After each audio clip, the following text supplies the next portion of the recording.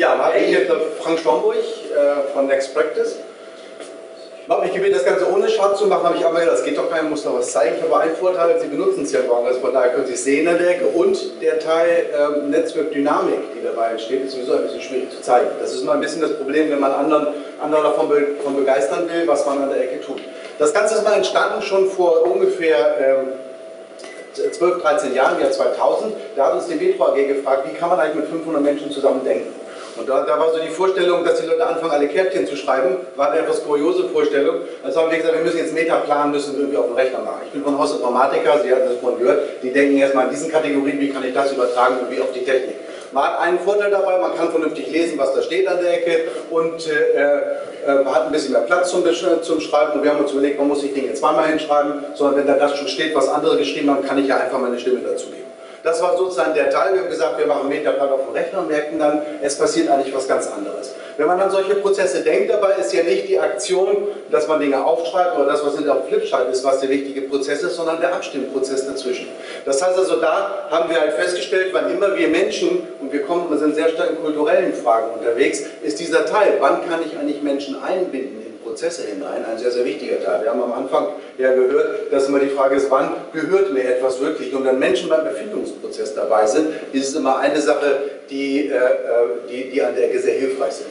Von daher sitzen, sind wir immer mit sehr großen Gruppen unterwegs, also gerne, dass wir ganze Führungsmannschaften oder so etwas haben und gerne, wenn es darum geht, sich eigentlich ein Stück für die Zukunft zu erfinden. Und wir sind immer ein bisschen in der Intervention unterwegs und sagen, wie kann man eigentlich sozusagen innerhalb eines Prozesses Menschen dazu bringen, sich in Dinge einzudecken und ein bisschen ihr Herzblut hineinzubringen, weil das ist der Teil, der dann den aller, wenn man so will, den größten Effekt hinter bei der ganzen Geschichte hat.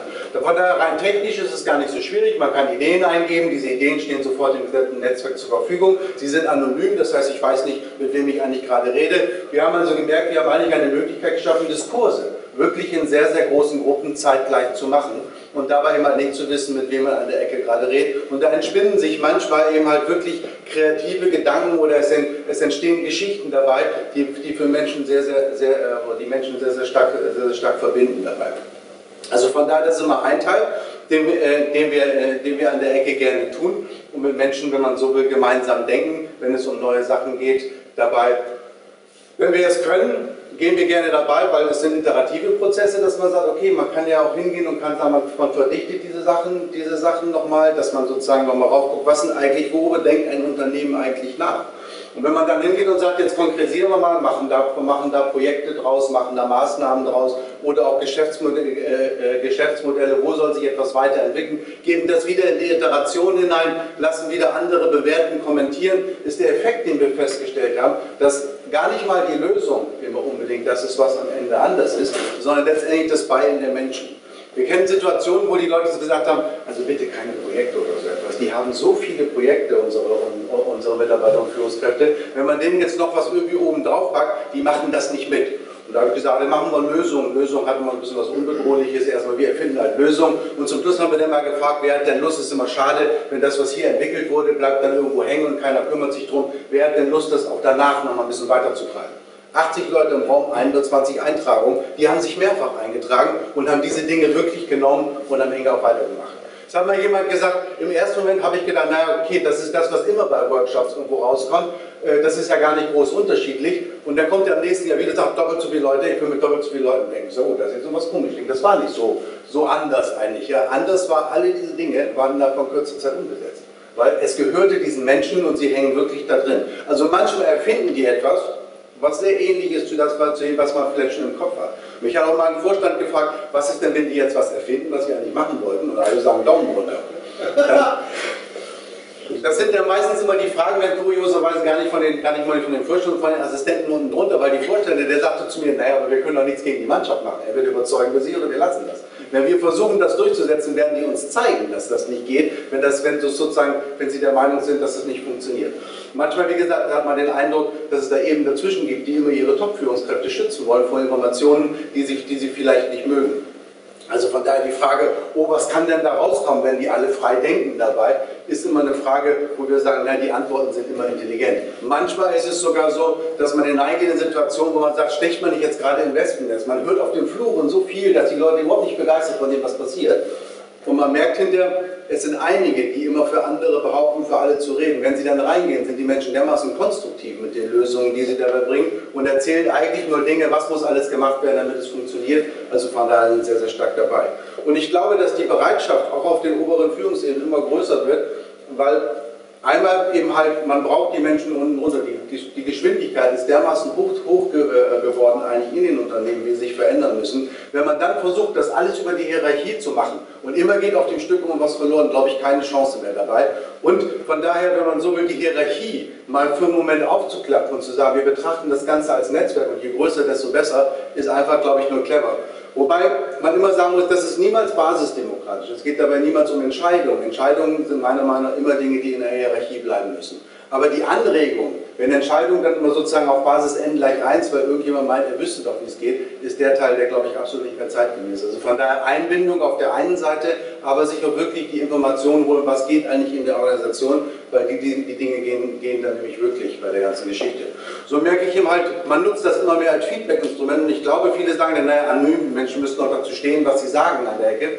Aber ich kenne Organisationen, da ist, die kommen in so eine kuriose Situation rein. Menschen äußern sich einfach nicht, weil sie sagen, ich bin doch nicht derjenige, der da eine Ohrenkräfer oder eine komische Meinung hat. Und Führungskräfte sitzen da und sagen, wir erfahren nichts von unseren Mitarbeitern. Und die gucken dann drauf und die Mitarbeiter fangen an, weil sie ein bisschen den Schutz der Anonymität haben dabei, aber dadurch, dass sich das ja immer auf die Resonanz geht. Wenn alle sagen, wir haben ein Problem, dann ist es ein Problem. Wenn Einzelne sagen, fällt es einfach schlichtweg durchs Haus. Und wenn man dann merkt, dass Führungskräfte sich da drauf stürzen und sagen, endlich kriegen wir es mal mit an der Ecke, glaube ich, dass das sogar, obwohl es nur eine Intervention ist, auch ein Eisbrecher sein kann. Wenn man merkt, wie die eigentlich damit umgehen und wie, wie sehr die auch auf die ganzen Geschichten eingehen, kann das etwas sein, was auch tatsächlich dann ein Stück weit kulturverändernd ist, dass Menschen sich auch dann viel freier äußern zu gewissen Dingen. Also wie gesagt, gar nicht immer so sehr in dem Innovationsteil, sondern sehr stark auf Feedback-Situationen, wo man einfach guckt, auch Veranstaltungen, wo dann Top-Management irgendwo dasteht und sagt, wir geben jetzt mal die Strategie bekannt und auch wenn sie es dann so, sie kriegen von den Fluren zurück, was sie erzählt haben, wie gut es ist. Dieses Feedback sofort zu haben, sofort darauf reagieren zu können und zu wissen, was geht Menschen an im Kopf herum, ist etwas, was wir, wo wir, wie wir das Werkzeug äh, letztendlich nutzen. Und das sind Größenordnung, die größte Veranstaltung waren 2000, die wir dann sozusagen vor Ort gemacht haben, 2000 Menschen im Netzwerk, im Netzwerk eingebunden. Das hatte früher immer noch den Charme, als wir angefangen ist, oh, so viele Rechner dann dabei, das ist ja faszinierend, da holt man natürlich heute keine Berufe mit hervor. Wir gehen heute hin, machen diese Dinge mehr und mehr im Internet dabei, insbesondere zum Teil als Vorbereitung, aber immer wieder den Effekt der Gleichzeitigkeit. Ich glaube, diesen Teil, ich reagiere spontan auf das, was jemand anders macht, ist ein sehr, sehr großer Faktor. Weil immer wir gesagt haben, Sie haben eine Woche Zeit, da was reinzuschreiben, fangen Menschen an schreiben Konzepte, der Nächste sagt, naja, ist nicht verkehrt, ich schreibe mal meins auf. Diese Interaktion entsteht nur, wenn ich sofort mal Feedback bekomme zu den Geschichten. Also von daher haben wir gelernt, wenn dann immer inszenieren und zu sagen, dann treffen wir uns jetzt eben halt nicht mehr Physik, äh, physisch, sondern virtuell und diskutieren gemeinsam und kriegen sofort die Aktionen und man merkt, wie Dinge eben halt wirklich dann auch entstehen, die eine sehr hohe Nachhaltigkeit haben und die man manchmal auch dann wieder benutzen kann, um sich dann zu treffen und weiter auszuarbeiten, weil wenn man sozusagen gemeinsam dann aufsetzen will, ist es immer sehr sinnvoll, das dann auch wieder in der Gruppe zu tun. Sie werden es morgen ein bisschen erfahren, wie es funktioniert ähm, und in welcher Geschwindigkeit man da auch tatsächlich irgendwo zu einem Konsens kommt und einen Einigungsprozess äh, vorantreibt. Das war's jetzt hier.